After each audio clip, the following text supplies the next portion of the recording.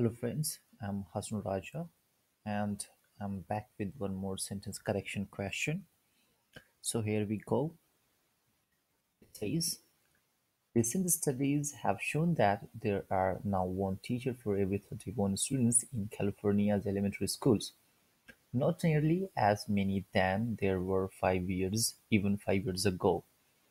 So here there are now one teacher are so the rule says whenever any sentence starts with there as a subject, it's mean the verb should be agreed with next noun.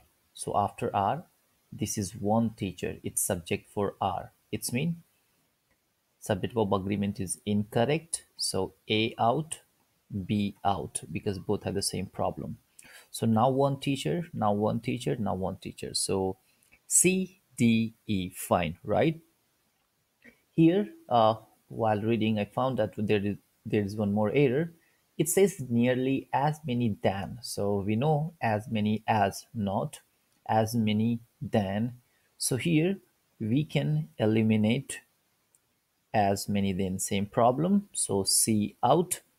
Now D ratio is much lower than and E says fine. So here we can notice, uh, but that ratio is much lower than even five years ago. So it must be the ratio was much lower than it was five years ago. That should be the correct one. So here the statement is incorrect. I meant to say grammatically doesn't suit here. So D out.